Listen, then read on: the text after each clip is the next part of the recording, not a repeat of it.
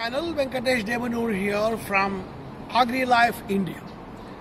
Now we're talking today on a very novel product from nanotechnology process for plant nutrition.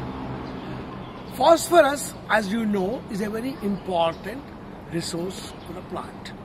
It's a very major nutrient for the plant. Phosphorus cannot be produced in a factory phosphorus is always a mined item, like a mineral.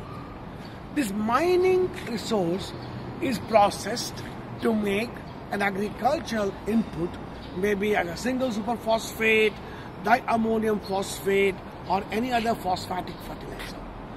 But as experts have been debating, we are going to reach a phosphorus peaking in next 30 to 35 years.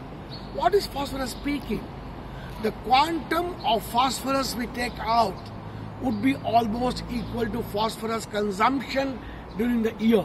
That means it will be consumption and mining production will be almost equal. But being a high volume commodity product, if there is small demand and supply gap, you know the price elasticity is very high and the price can be enormously increased. And a resource which is not available to make in a factory, we have a responsibility of sustainability objective to use them most judiciously. phosphorus, when applied to soil, gets fixed and becomes unavailable. A lot of phosphorus gets leached out in the water and goes to ocean forms algae and varieties of weeds are produced. We have one side a resource is dying resource. Another side we are wasting it considerably.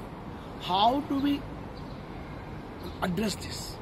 Nanotechnology has a very unique solution. The particle sizes are cut down to less than 100 nanometer. Thereby, the effective working increases manifold actually. So how do we produce the phosphorus from any form of a salt or acid is taken out as an element and then by using reduction chemistry we reduce the particle size to less than 100 nanometer. This nano product of phosphorus is called nanophos with nanophosphorus.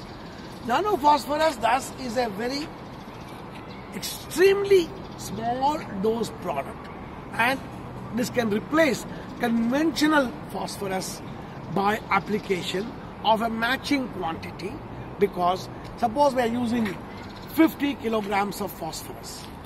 50 kilograms of phosphorus probably can be replaced by 5 liters of nanophos. Thus, the quantum of this 5 liter will only have 0.1 gram of phosphorus.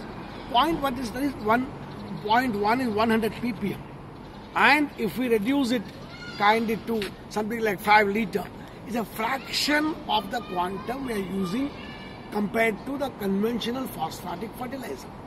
Therefore, the resource, which is very, you know, what we call dying resource, which is not used judiciously, can be very judiciously used by this as a process by this nanotechnology. We call it nanophos.